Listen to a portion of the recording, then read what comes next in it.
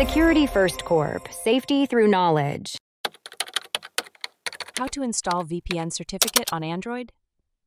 Installing a VPN certificate on your Android device is a crucial step to ensure secure connections. This process enhances your online privacy and protects sensitive data. First, obtain the VPN certificate file from your VPN provider. This file is typically in .crt or .p12 format. Ensure you download it from a trusted source to avoid security risks. Next, open the Settings app on your Android device. Scroll down and select the Security option. Depending on your Android version, this may also be labeled as Biometrics and Security. Within the Security menu, look for the Install from Storage option. This allows you to install the certificate file you downloaded. Tap on it to proceed. You will be prompted to navigate to the location where you saved the certificate file. Select the file, and the system will begin the installation process.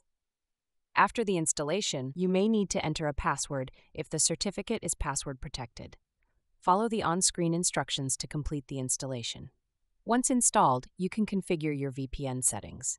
Go back to the main settings menu and select Network and Internet. Then, tap on VPN to add your VPN profile.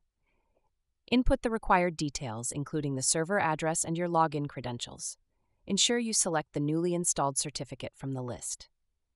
Finally, save your settings and connect to the VPN. Your device is now equipped with enhanced security, safeguarding your online activities.